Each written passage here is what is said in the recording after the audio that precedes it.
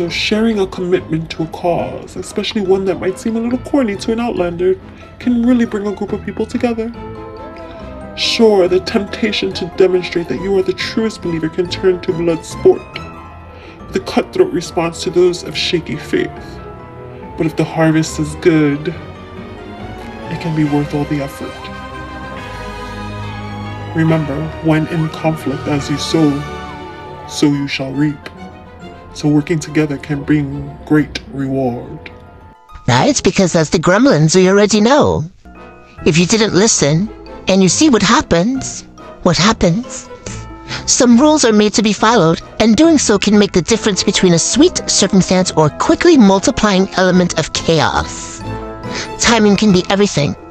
If things take a turn for the worse, it can be helpful to shine a light on the problem rather than let it fester in the dark.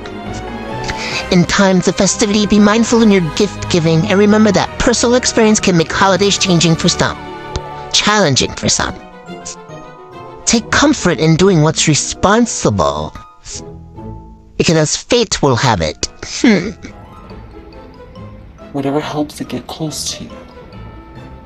The actions of others can set things in motion towards you, unstoppably too, so that your only agency is in how you handle the situations that might multiply, right? There's no way to avoid it.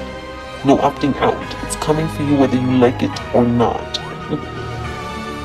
you say this is with disturbing focus, even if those around you cannot. What can you do? Determine your own fate. What will be, will be. Give it to the fire. As Frankenstein will say,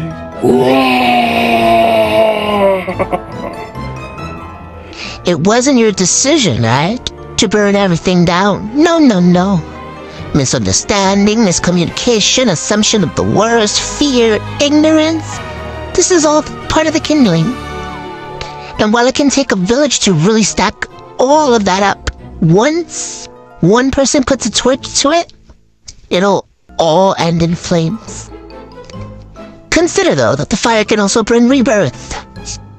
And ash nourished forest grows again and marks a new beginning.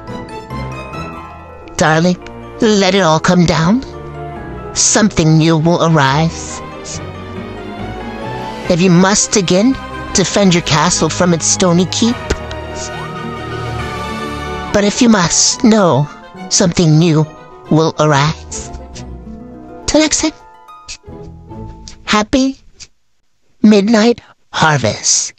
For your fate is fire.